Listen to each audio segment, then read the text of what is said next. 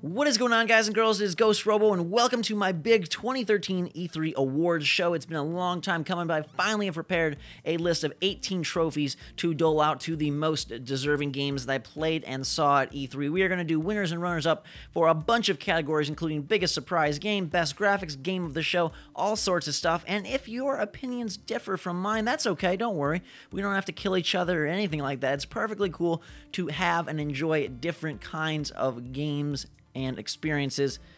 Whew. Without further ado, guys and girls, smash that like button if you enjoy this video and are excited for some E3 awards. We're going to kick it off with the biggest surprise game. That's one of my favorite categories to pick. And the runner-up for that is Plants vs. Zombies Garden Warfare, um, the third-person squad-based uh, cooperative shooter, wave-based shooter um, from the fine folks at PopCap, merging with DICE to make this really gorgeous, amazingly cute and fun and colorful Plants vs. Zombies shooter. The winner, though, is Dying Light, which I thought looked incredible. This is the basically true sequel to Dead Island from the fine folks at Techland, their next gen zombie killing uh, experience merged with some Mirror's Edge style parkour. So you still have the same melee focused zombie combat, um, big open world, but now there is traversal atop the roofs, atop poles, running, jumping, climbing, and a true day night cycle, which introduces some crazy one hit kill zombies um, that only come out in, at night, introducing a little bit more stealth to the gameplay. What I saw, a behind closed door gameplay demo, looked awesome. Beautiful game with what seemed to be dynamic quests coming in at you. Um, and if they can find a way to make that traversal really fun and a necessary part of either evasion or attack, I think it could be a great one uh, when it releases sometime next year. The next category is best graphics, um, and this one was a little bit tricky because a lot of the games um, that you see trailers for or that you watch in the press conferences, they look even better in person. And I didn't have an opportunity to see every single game that was presented at E3 in person, but I saw a good majority of them. Um, so the runner-up for this one is going to be a three-way tie between The Division, Killzone, Shadowfall, and Destiny. I thought all three of those games looked super impressive. Some specific effects in each one um, were worthy of the award themselves, but none of them stood out super high and above each other, so I wanted to kind of group them together as the runner-ups. Um, the winner, though, of Best Graphics is Infamous Second Son. Dang, that game looks so good in person. It's so clean, it's so crisp. It was the first time I was like, wow, welcome to the next gen. I saw that being played on PlayStation 3. I'm gonna just, oh, it's so gorgeous. You don't know until you actually see it in front of you how crisp the visuals look, how beautiful the character moves, how all the fire effects and smoke effects come together um, in the visual space. It's just, it's incredible, and it lets you know that okay, PlayStation 4 and Xbox One are significantly better than 360 and PS3, and imagine where they're going to get in the next three to four years. A very cool moment for me. One of my favorite gaming moments um, of the last few years was sitting down and seeing Infamous Second Son for the first time because it just blew me away. Uh, the next award is the best current gen game. Now, this is something for Xbox 360, PlayStation 3, or Wii U, which I am kind of quantifying as a uh, current gen system. Maybe it's next gen, maybe it's current gen. It's current gen. Uh, so the runner-up in this category is Beyond Two Souls, the new game um, from the people that brought you Heavy Rain. It was really cool. It's a more interactive experience than Heavy Rain with some very, very uh, deep and emotional themes. It seems like I was playing as the main girl, um, and she was with a small boy wielding an AK uh, and some crazy possession gameplay going on where you have to take control of other people's bodies and make them do dastardly tasks. I don't know. It seemed very awesome. I played about 30 minutes, and I'm excited to see where that one goes when it's released later this fall. The winner, though, of Best Current Gen Game is Super Mario 3D World. It wasn't the Mario game I was quite hoping for, um, but it's so much fun to play. It's so pretty on screen, and I think that four-player co-op in 3D Mario is going to be awesome. I like the cat suit a lot. Seems like they're bringing back bosses, uh, and it, it looks great. It's uh, the next wave of Wii U games, and they all look super awesome, the first-party stuff, but Mario 3D World in particular it's very, very crisp on camera, uh, on screen, on console. Best next gen game, this would be something for PlayStation 4 um, or Xbox One. The runner up's The Division, and I give it the runner up because it looked super awesome. I don't have a negative thing to say about it, but we just don't know a whole lot. Um, it obviously wasn't playable at E3, and I'm not sure exactly how that one's going to come together. You know, when games are first shown at a big event, they bring out their, their best, biggest display of fireworks and, and explosion and fun how the game eventually ends up when it's you know printed and, and sent off to retailers is a different story. Um, but that that holds so much promise. Sort of this open world RPG with other players being involved. It reminded me of some crazy zombie apocalypse game. Uh, I don't know if they're zombies or not, but just like survival and leveling up and fighting off real life opponents seems super just super cool. Uh, but my winner for Best Next Gen Game is Titanfall, and I did not have a chance to play Titanfall, but I think it's doing some very cool things uh, for the online first-person first-person shooter genre.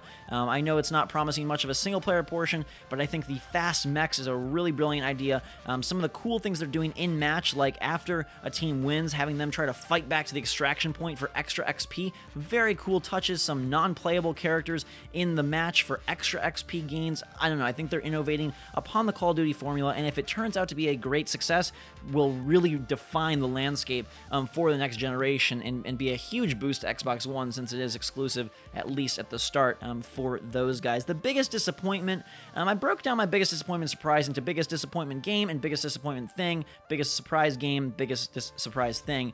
Um, and for biggest disappointment thing, it was that nothing was really playable. I was going there expecting to get my hands on a dozen Xbox One games, a dozen PS4, and it really was only a very select few things you could play on the next gen consoles. Indie stuff, uh, Knack, Ryse, Killer Instinct, not a whole lot else. Um, some cross-gen carryovers, so you could get some hands-on time with the controllers, but there was no kills and there was no Infamous, there was no um, Dead Rising 3. A lot of these bigger titles that people were very excited for weren't playable at the show, and it was a little bit of a bummer. Um, Tied with that, I didn't do a runner up in this category because these were these are tied together. Uh, is no new Nintendo IP. I can't believe it's another year.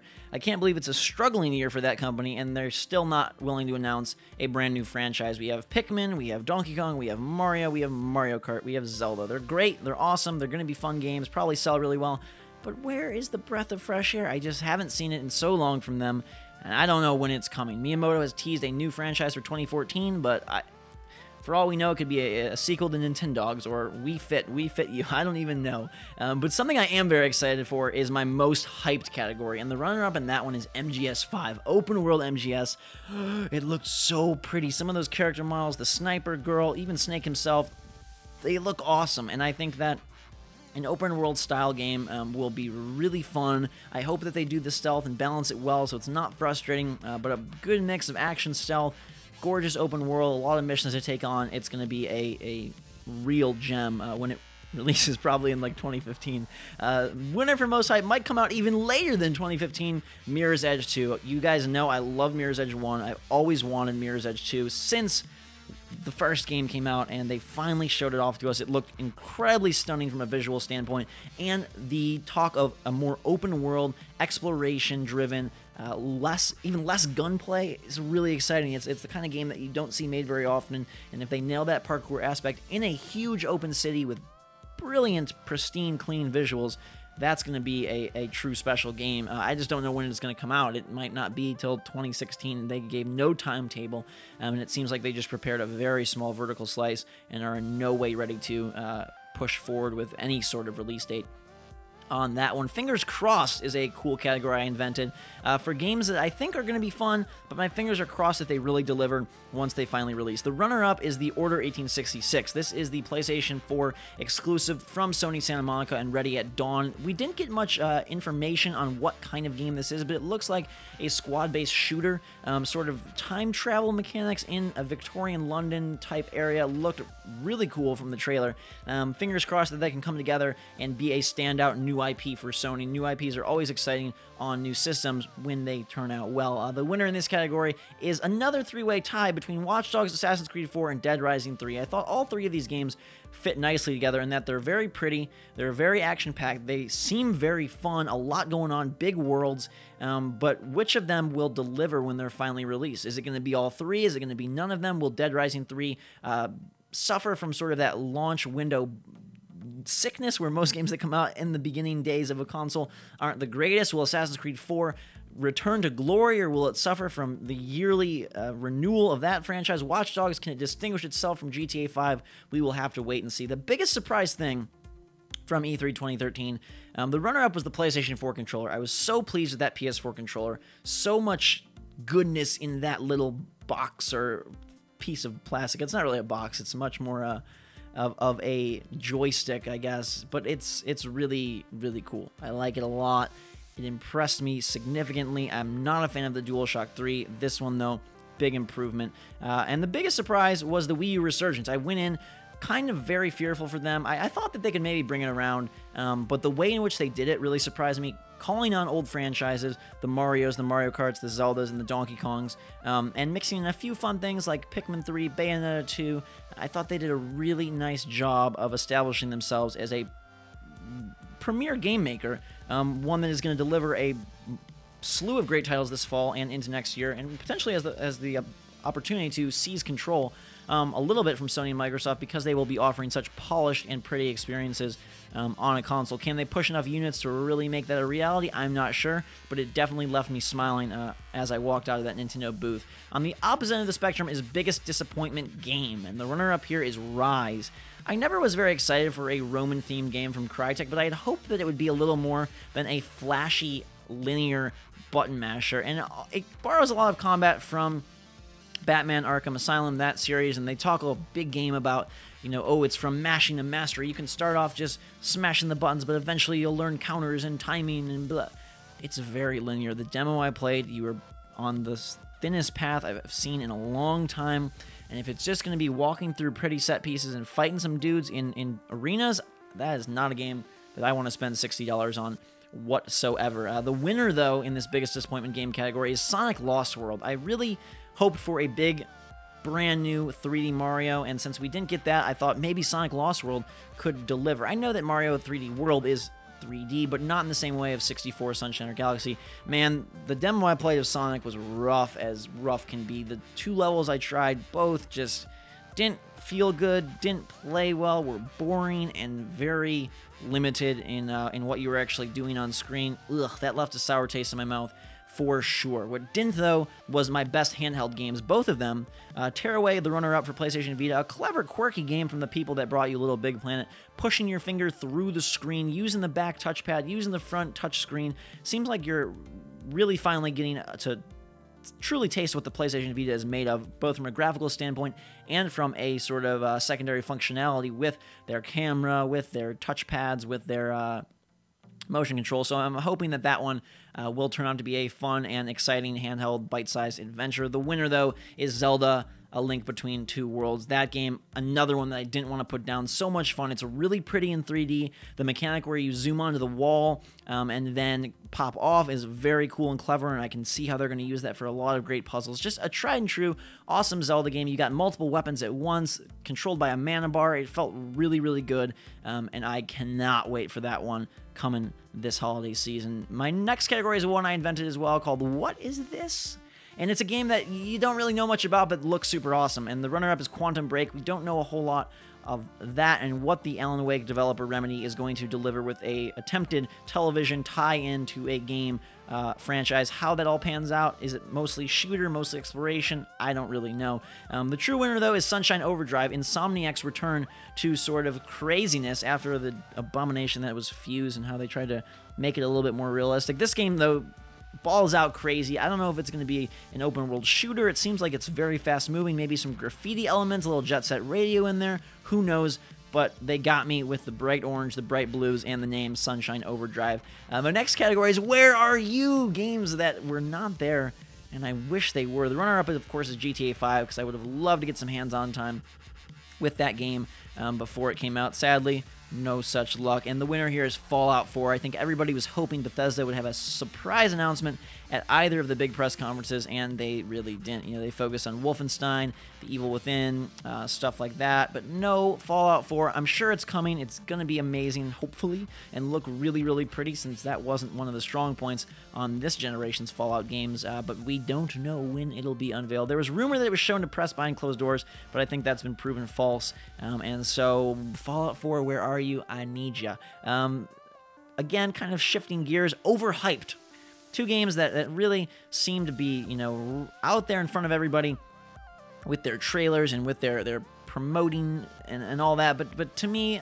I don't know. And and the runner up is a little bit of a I didn't know if I should slot this here or not, but bear with me on my explanation. Watch Dogs. I think Watch Dogs looks very cool. I think they're talking a very big game, and anytime you have a, a huge open world and you're spitting all this stuff about, oh my god, all this interactivity and the people and the reactions, that's a dangerous storm uh, to be walking into, especially when you're going to be putting many of those features exclusively on the next gen consoles and hoping that it can all come together uh, with a very early cycle game.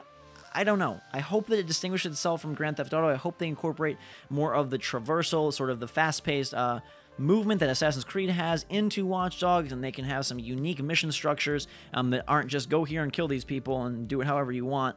Um, so I'm a little bit worried about that one. I think it's a little bit overhyped, but I still think it has a chance to release deliver and impress me immensely and possibly be a game of the year contender. The most overhyped game though is Battlefield 4. Um, I played that for about 40 minutes, and while it was fun, it's more Battlefield. I would have loved to see them do something different. You know, take the Titanfall approach and reinvent yourself. I know that Battlefield is a tried and true series that everyone loves for its very specific reasons, and perhaps they would have gotten a little flack if they made a you know took a divergent path, but then do Bad Company 3 or, or, do something a little different. Start off the next generation with a bang, um, and don't just make a prettier version of every single first person shooter we've played in the last five, six, seven years. It controls great, it looks awesome, it's going to be fun. I just think that it would have been cool if they would have shown something different, and instead, everyone's talking about this as like the prettiest, best game ever, and really, it's just a touched up Battlefield 3. Don't get me wrong, it looks good. I just wasn't so excited after playing it. Um, the weirdest shock, a category that has more to do with themes than it does specific games. The runner-up is where are the Sony exclusives? You know, they had a chance to really put the nail in the coffin um, on Microsoft and instead talked Order 16, 1866, Infamous, Killzone, Knack, and, and not much else in terms of exclusives. Sure, they had the exclusive demos for Assassin's Creed 4 and games like that, but where were their brand new experiences? Um, either a new God of War, The Last Guardian, something that really wowed us, and I just didn't find anything that I didn't know about previously um, at the Sony conference that really blew me away, and I'm hoping that they, they're talking that they have a lot of new IP, so I'm hoping they can really uh, come through with those later this year, maybe at Gamescom or, maybe after the console releases. But hopefully, 2014 will yield some fun and fresh uh, Sony products.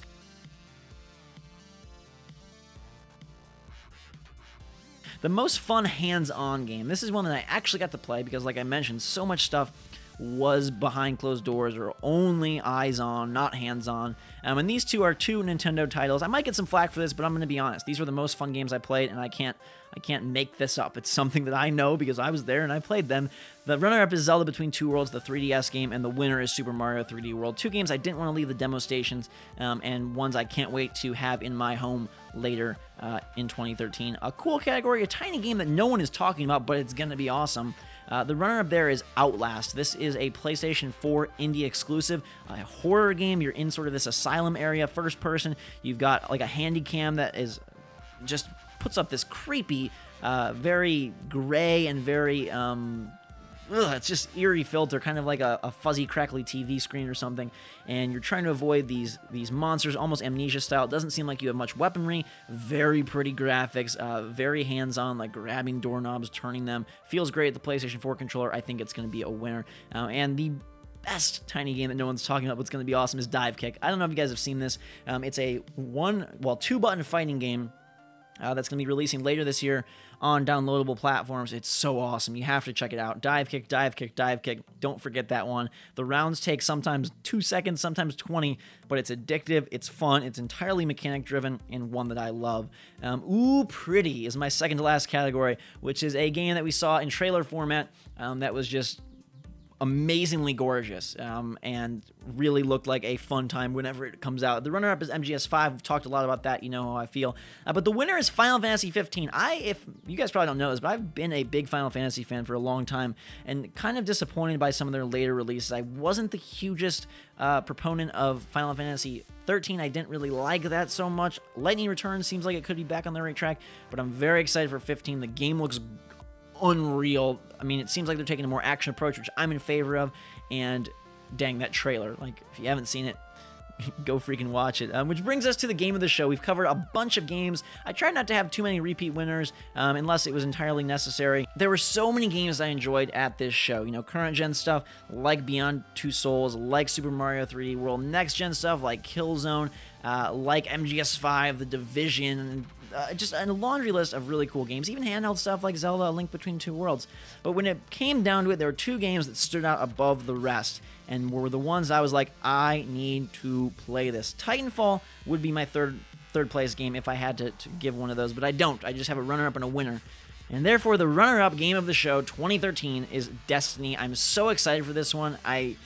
Whew, it fits everything I like shooter, RPG elements, a big, pretty open world, even some multiplayer fun in there. I think it could be special. Redefining what an MMO means via a shooter and via great storytelling and awesome world building. Um, the guys at Bungie seem to be on the path to greatness here. They've invested so much into this upcoming franchise, and I think it's going to pay off. Of course, the gameplay looks very sharp and fun. The visuals are astounding, and I think a lot of what they're doing with allowing you to level up your guns and kind of tech trees inside the weapons, um, as well as your character's superpowers, uh, the ability to to team up, create a character, huge landscapes, multiple planets. I think that's going to be just a monster of a game whenever it comes out. Hopefully, uh, early slash mid 2014. Though I'm worried it's going to get delayed to fall holiday 2014. So we may be waiting a long time on that one. One that you won't be waiting a long time though for is my game of the show. I bet a lot of you can guess it. Yes, it's Infamous Second Son for the PlayStation 4, releasing sometime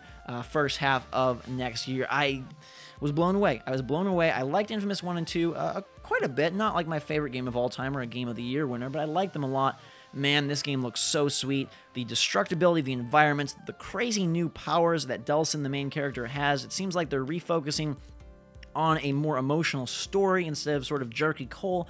And Seattle looks beautiful. Man, they've recreated that uh, real life city in such a awesome way. When you see the game on your own TV screen, you're going to be floored. It looks so cool. I love the fact that Delsin can absorb other uh, conduits' powers and maybe have fire, ice, smoke, plant, who knows, whatever they decide to include. Um, but it seems like it's going to be sort of the showpiece uh, PlayStation 3, ti- PlayStation 4 title um, after launch, kicking off 2014. Killzone's going to be great, but I think Infamous Second Son is really going to win everybody over. Those are my E3 awards from the very beginning and biggest surprise game of Dying Light to the final game of the show.